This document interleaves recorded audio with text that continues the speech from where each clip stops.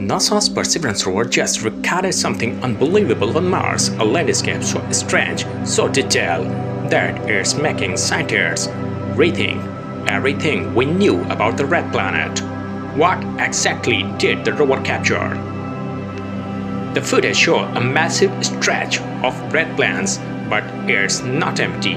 Giant cracks, cliffs, and rock domes dominate the land. This is not just a dead desert, it's preserved memory of Mars while in past.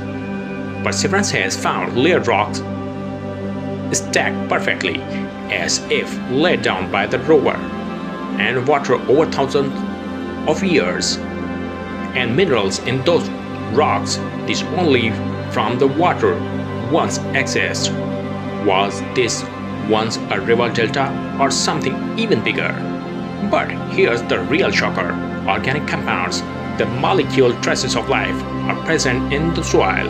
They could be the, from ancient microbes or just chemical reactions, but still they are a piece of puzzle that's far from solved. So, what is the Mars trying to tell us? Each new image brings us closer to a truth we are not ready for, and this might just be the beginning.